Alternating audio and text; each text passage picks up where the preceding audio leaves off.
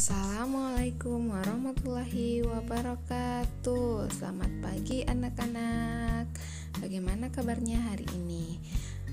Semoga kalian masih tetap semangat belajar. Nah anak-anak hari ini kita akan belajar materi tentang pengamatan data. Untuk lebih jelasnya silahkan kalian perhatikan penjelasan ibu guru ya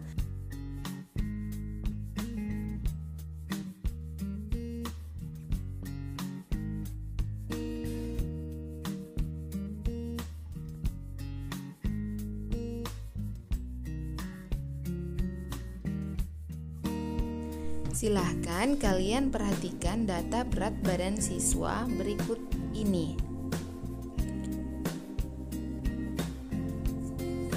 Jadi datanya ada 45 data.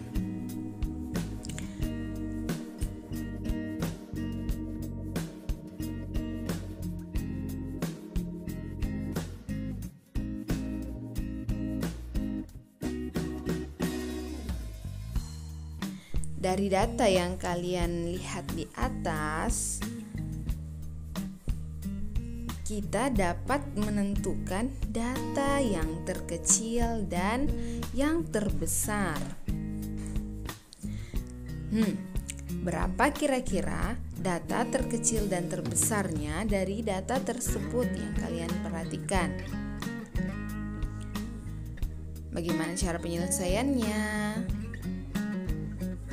Cara penyelesaiannya adalah pengamatan data akan menjadi lebih mudah apabila data sudah disajikan dalam bentuk tabel atau dalam bentuk diagram. Jadi, kalian harus sajikan dulu dalam bentuk tabel atau diagram. Nah, mari kita sajikan data tersebut ke dalam bentuk tabel. Perhatikan tabel berikut ini tentang isian tinggi badan siswa. Jadi, datanya seperti yang kalian lihat. Data dalam bentuk tabelnya seperti yang kalian lihat pada tabel itu ada berat badan dan frekuensi. Frekuensi ini adalah jumlah setiap data. Cara penyajiannya silahkan kalian urut dari ya data yang terkecil ke data yang terbesar seperti itu. Cara menentukan frekuensinya silahkan kalian hitung misalnya data berat badan 30 ada berapa orang. Misalnya kita hitung sama-sama 1 2 3 4. Jadi data 30 frekuensinya adalah 4 seperti itu. Selanjutnya data 35. Mari kita hitung data 35 ada berapa? 1 2 3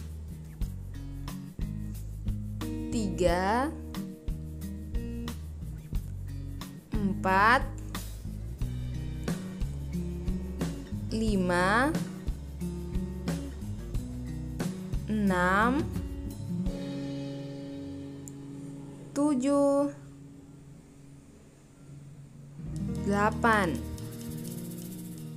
Oke, satu lagi 9. Jadi data 35 adalah 9. Seperti itu caranya. Begitupun data 40, 45, 50 dan 55. Silakan kalian hitung frekuensinya sendiri.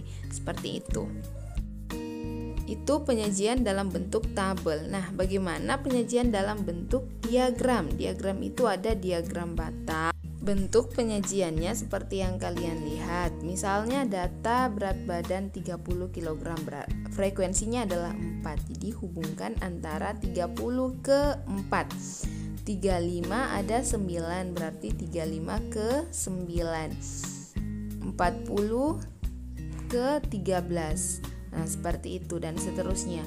Untuk diagram garis sama halnya dengan diagram batang.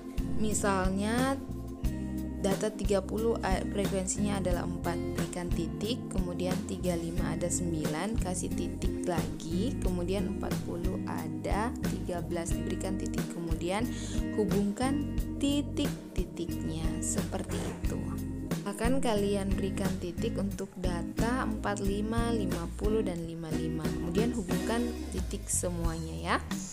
Nah, untuk hasil sajian datanya dari eh, tabel dan diagram ternyata data yang terkecilnya adalah 30. Banyaknya data yang terkecil adalah 4. Kemudian data terbesarnya adalah 55. Banyak data terbesar adalah 5 orang seperti itu. Sedangkan data yang terbesar frekuensinya adalah 40, yaitu sebanyak 13 orang.